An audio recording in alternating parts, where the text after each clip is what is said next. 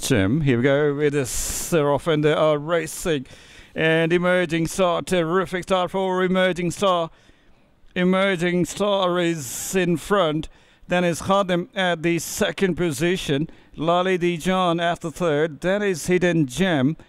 Also, it's Short Upper Ton and Mary Maloney. These are top six runners, and they are in the picture as they are negotiating the turn.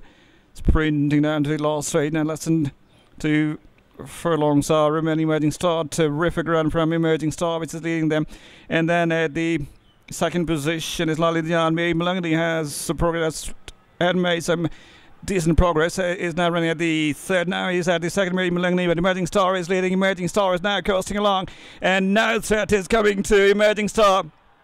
And Emerging Star emerges as the triumphant runner in this third race.